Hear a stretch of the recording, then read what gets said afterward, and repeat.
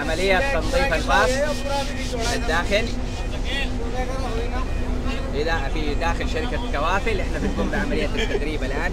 بندربهم على عملية تنظيف الباص بالفخار